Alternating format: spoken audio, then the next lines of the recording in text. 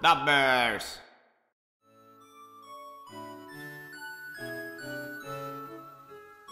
Beh, eccoci qua.